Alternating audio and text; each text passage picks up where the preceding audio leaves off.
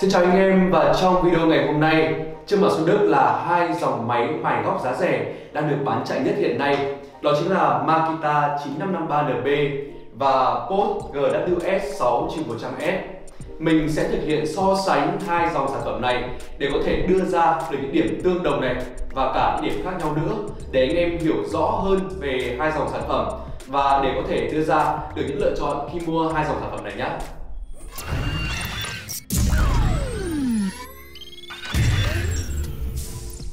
Trước hết là về những điểm giống nhau, Makita 9553NB và Post 6100S đều có giá thành khoảng 1 triệu đồng, rất vừa với túi tiền của anh em phải không nào?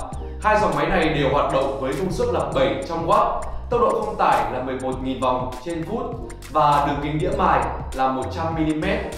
Hai dòng máy này đều có thể mài mòn được tất cả các loại vật liệu như gỗ này, sắt, thép, inox và ngay cả là đá nữa. Không chỉ vậy, cả hai dòng máy này cũng đều đáp ứng yêu cầu cắt cơ bản. Chỉ cần sử dụng đúng phụ kiện, mài cắt chuyên dụng cho từng vật liệu cụ thể là được. Cả Makita 953NB và Post 6100S đều à, sử dụng động cơ chổi than và động cơ này thì nằm ở bên trong của máy và anh em chỉ cần tháo vỏ máy ra, gỡ lò xo là có thể thay thế được chổi than khi bị mòn rồi. Về cơ bản thì uh, giống nhau là như thế nhưng còn xét kỹ hơn thì uh, Makita 9553NB và Boss 6100S lại có rất là nhiều điểm khác nhau. Đầu tiên là về phụ kiện, cả hai dòng sản phẩm này đều được trang bị tay nắm cầm, dụng cụ vặn trục và vành chắn tia lửa điện.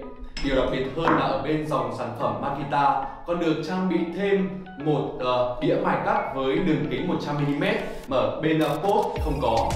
Về thân máy thì mình đánh giá hai dòng sản phẩm này khá là nhẹ, có trọng lượng khoảng 1,5 kg.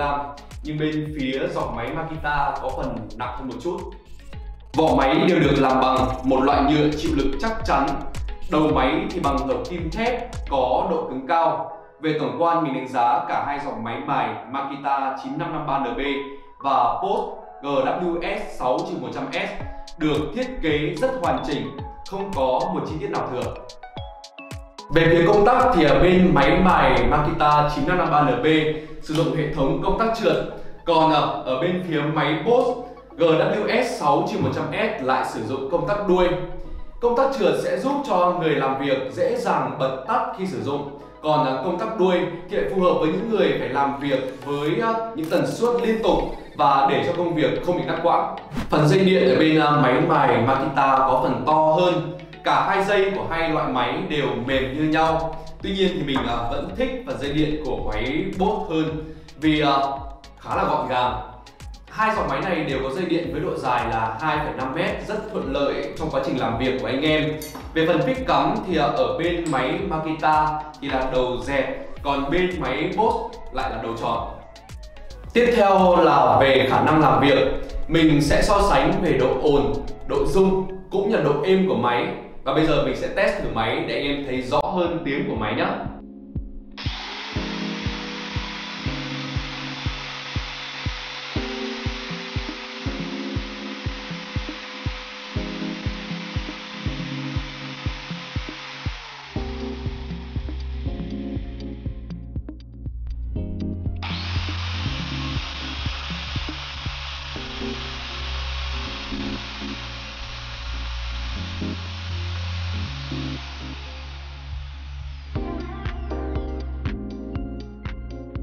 Sau khi test thử xong thì mình cảm thấy máy mài Makita khởi động êm hơn.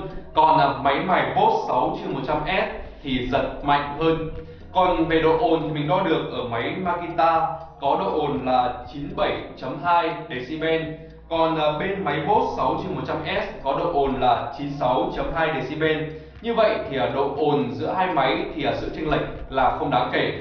Trong quá trình làm việc thì mình cảm giác thấy hai máy đều không rung tốc độ phanh từ từ giúp cho người làm việc uh, tự tin hơn trong khi làm việc.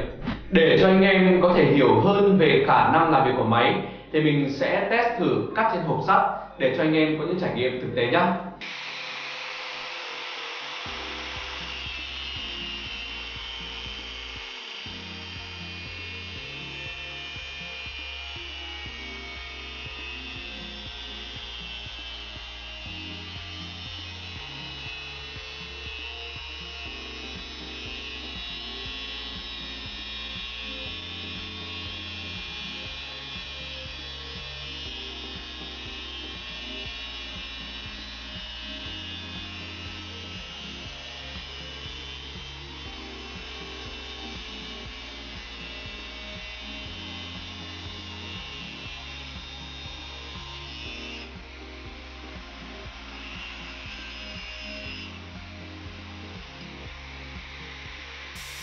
Vừa rồi thì à, kỹ thuật viên bên mình đã sử dụng hai máy để cắt trên thanh sắt và cho ra được kết quả thời gian đo. Bên máy Makita là 35 giây, còn bên máy Boss 6-100S là 43 giây. Như vậy thời gian cắt của máy Makita nhanh hơn thời gian cắt của máy Boss 6-100S còn về à, vết cắt của hai máy thì à, tương đương như nhau. Tuy nhiên thì bên mình nhận được rất nhiều những phản hồi của khách hàng đã gửi về và nói rằng ờ, máy Makita thì có cường độ làm việc nhỉnh hơn máy Boss 6-100S một chút và phần đầu máy của máy Boss 6-100S dễ bị nóng hơn so với máy Makita sau một khoảng thời gian làm việc liên tục. Đó cũng chỉ là ý kiến của một số cá nhân thôi và thực tế là như nào thì còn phụ thuộc vào khả năng sử dụng của anh em nữa. Nếu anh em đã sử dụng một trong hai dòng sản phẩm này rồi thì hãy comment và đưa ra ý kiến bên dưới để chúng mình biết nhé.